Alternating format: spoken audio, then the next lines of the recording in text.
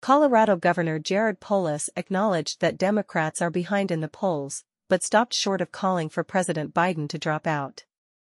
Polis said Democratic operatives need to consider whether Biden should focus on governing for the remaining six months of his term or the 3.5-month sprint to the election.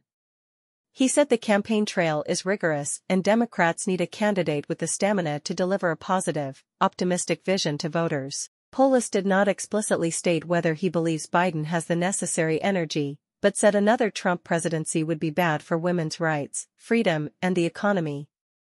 He said a successful shift in Biden's campaign could convince voters that Biden is the better choice for America's future.